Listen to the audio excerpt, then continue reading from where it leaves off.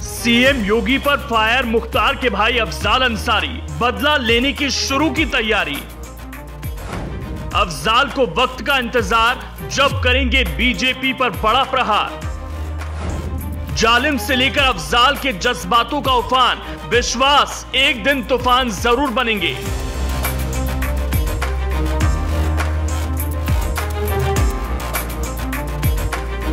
जितना बीएसपी सांसद अफजाल अंसारी को पीएम मोदी के खिलाफ नाराज़गी नहीं है ईडी सीबीआई का खौफ नहीं है बीजेपी के चाणक्य अमित शाह की रणनीति में फंसने का डर नहीं है। उससे कहीं ज़्यादा लगता है कि अफजाल अंसारी को मुख्यमंत्री योगी आदित्यनाथ पर गुस्सा है।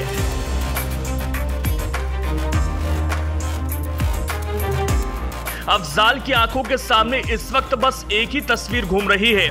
उस तस्वीर में परिवार के किसी भी सदस्य का अक्ष नहीं है। उस तस्वीर में है तो सिर्फ़ सीएम योगी, जिनके खिलाफ मुख्तार के भाई का अंदाज आक्रामक है। अफजाल तो योगी पर फायर हैं, उन्हें तो बस उस दिन का इंतज़ार है जब वो सीएम योगी को अपनी सियासी ताकत से वाकिफ करा सकें। बता सकें, अब भी उनमें दम है जो बड़े से बड़े शोरमाओं की सियासत को बेदम कर दे।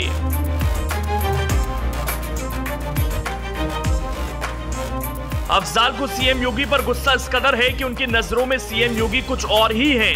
अफजाल का सीएम योगी पर आक्रामक अंदाज अब भी बरकरार है, जबकि पूर्वांचल के बाहुबली और उनके भाई मुख्तार अंसारी सीएम योगी के एक्शन का शिकार बन गए, कहते फिर रहे हैं, यूपी में बोलना मना है, सब कुछ ठीक है, हम अब कुछ नहीं कहेंगे। भतीजा अब्बास अंसारी भी जेल में कैद होकर रह गया बड़े बड़े दावे किए थे।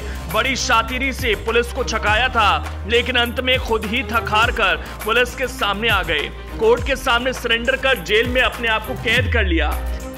अफजाल और उनके परिवार की करोड़ों की संपत्तियों पर योगी का बुलडोजर चल गया।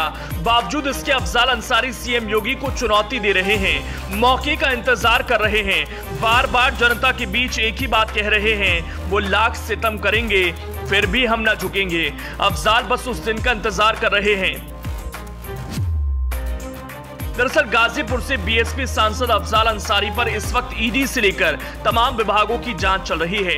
अंसारी बंधुओं की संपत्तियों की कुर्की भी की जा रही है। इससे लेकर अफजाल अंसारी लगातार बीजेपी और योगी सरकार पर हमला कर रहे हैं। हर जगह अफजाल घूम घूम कर बस एक ही बात कह रहे हैं, सरकार उनके खेत, मकान समेत सब छीन रही है। हर जगह उनके और उनके परिवार के खिलाफ कार्रवाई हो रही है। हर जगह अफजाल सीएम योगी और बीजेपी का नाम लिए बिना कह रहे हैं, वो जालिम है, जिसके खिलाफ पूरी ताकत के साथ लड़ रहा हूँ। हमें ऐसे याद रखा जाएगा जिसने जालिमों के खिलाफ घुटने नहीं टेके। अफजाल अंसारी ने दावा किया कि सरकार भले ही उन पर कार्रवाई करते रहे, उनका सब कुछ ले ले, ये उनकी असली दौलत नहीं है। असली दौलत गाजीपुर की जनता का समर्थन है। अफसाल अंसारी ने मंच से कहा कि वो एक इतिहास छोड़कर जाना चाहते हैं। वो चाहते हैं कि लोग उन्हें इस रूप में याद करें कि एक व्यक्ति था जिसने जालिमों के खिलाफ घुटने नहीं टेके, जुर्म सह लिया, लेकिन संघर्ष जारी रखा। अफसाल अंसारी ने बीजेपी का बगैर नाम लिए इशारों ही इशारों में कह दिया, जनता का समर्थन मिलता रहे तो वो कोर्ट, कचहरी के रास्तों पर चलकर अपने हक की लड़ाई लड़ लेंगे। अफजाल को बस 2024 का इंतज़ार है। 2024 पर अफजाल को गजब का विश्वास है, तभी तो कह रहे हैं। अब 2024 के लोकसभा चुनाव का वक्त भी करीब आता जा रहा है। ये वो वक्त होगा जब जनता की अदालत में जनप्रतिनिधियों का फैसला होगा। भोजपुरी अंदाज में बस इतनी बात इन लोगों को रात में भी नींद नहीं आ रही है। कुल मिलाकर बीएसपी सांसद अफजाल अंसारी डायरेक्ट तो नहीं इनडायरेक्टली इशारों ही इशारों में सीएम योगी पर फायर हैं। सीएम योगी को अपना सबसे बड़ा दुश्मन मान रहे हैं।